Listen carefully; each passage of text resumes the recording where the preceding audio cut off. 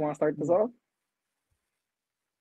Um, I think for us, we've always kind of looked at tag team wrestling first, right? Because while we don't like to be put in boxes and categories, at, at the end of the day, you know, it's entertainment and it's pro wrestling and it's it's in and of itself is not in a box, right? Pro wrestling is not just one thing.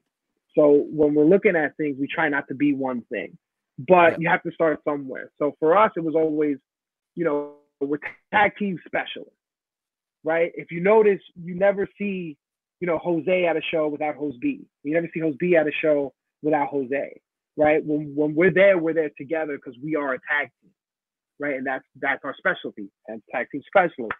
So I think kind of at the end of the day, um, you know, if you talk about legacy, you know, I would love in the future if people kind of bring our names up as, you know, they were entertaining.